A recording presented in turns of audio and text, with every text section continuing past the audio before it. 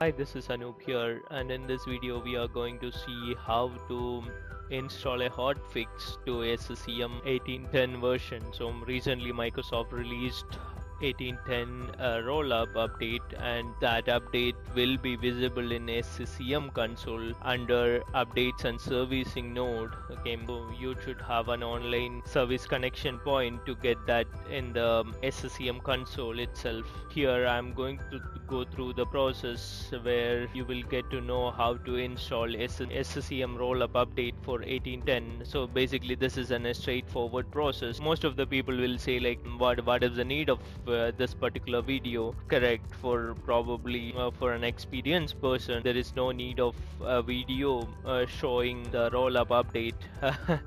Uh, but uh, there are there are folks uh, newbies out there in the field um, they they would like to know what is the exact process. Probably they are doing the roll up update for the first time so they don't know how to how to do the roll-up update. Probably this video will help them to get the details uh, the experience. So ba basically it's a straightforward process. You need to right click on the update available in the console and uh, click on install. So installation is not going to take long time so after that you can click on the show status button and uh, you can see what is the status of the installation which step is going on. Kind of a um, detail you can get from monitoring workspace. In monitoring workspace click on show status. These details so the installation phase is going on at the moment. I wanted to mention the difference between the versions. If you look at console uh, you can see at the moment my console version is it's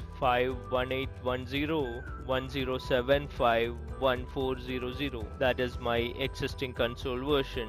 Uh, the new version of console would be 5181010751700 this this would be my new console version so after the installation of the console you can see the console version and the site version details. After the rollup update site version is 508740 1000 58740 is a build version. There is a site version and full site version. I don't know exactly what is the difference between site version and full site version. If you if you look at the previous screens of the video you can see rollup update is 50087401012 and the client version is also same. It is it is applicable for the first version also like if you look at the full version. That is a, a quick video about 1810 rollup update. Thank you for watching. See you next time